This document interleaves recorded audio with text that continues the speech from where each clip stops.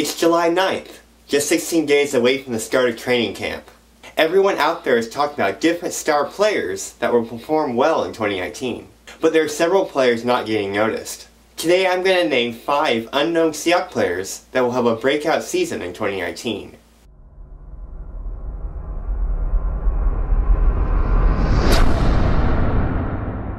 First, honorable mention, Will Dissly. Dissly tore his patella tendon in week 4 of last season, the same injury that Jimmy Graham suffered. It is very hard to come back from an injury like that, but Jimmy Graham proved that he could, maybe Will Dissly as well. The four games that Dissly played, he mauled opposing D linemen and pass rushers, like Chandler Jones. Go watch some footage on YouTube. So if he can bounce back from his injury, it is safe to say that he'll make a bigger impact for the Hawks this season. And now for the main list. Number 5, Shaquem Griffin. Seattle use Griffin as a coverage type linebacker in 2018, unlike what he was used to in college, where he was used strictly as a pass rusher. Head coach Pete Carroll said that they will be having him take more snaps at the pass rusher slash strong side linebacker roles. Carroll said they'd like to use his talents to help improve the team in 2019. I would not be surprised if Griffin recorded 5 to 8 sacks this season. Number 4, Rasheem Green. Green was ranked as one of the best D linemen coming into the draft in 2018, but injuries hampered him in 2018, so he was unable to see the field a lot. Green's talents and build are very similar to Seattle's recently drafted LJ Collier. Man, it'd be great if both Collier and Green have breakout seasons this year. Wouldn't that be awesome? With a season of experience, and if he can remain healthy, he could be one of Seattle's leading sack masters this season. Number 3, Jaron Brown. Brown signed with Seattle in the 2018 offseason. He's a durable receiver that plays a big part in the running game by blocking.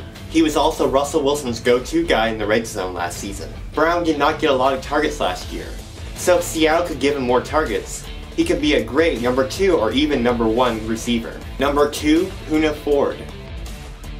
Ford was signed as an undrafted free agent in 2018, where he made the 53-man roster because of holes in the D-line. In games where he saw action, he was blazing quick. He could fly through opposing O-lines with ease. Go watch the San Francisco game again. The one knock on him is that he is under 6 feet tall, and that could hurt a defensive tackle's performance. But from what little we saw of him last year, it's safe to say that he'll probably be okay. We could possibly see Ford as a starter this next year.